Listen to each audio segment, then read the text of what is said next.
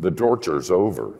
Death has been conquered. Everything is finished. There is great joy and rejoicing. And now it's time to have breakfast. If you go to the 26th chapter of Matthew, Jesus has just told his disciples that they're all going to run. And Peter said, Oh no, I'm willing to die for you. These guys, maybe, but not me.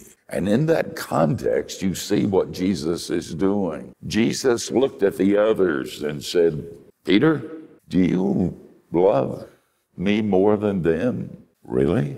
And Peter knew exactly what Jesus was saying. And he knew that he, like them, had fled and sinned. And there was a sense of repentance and sadness in him, a humility that was learned, but was learned the hard way.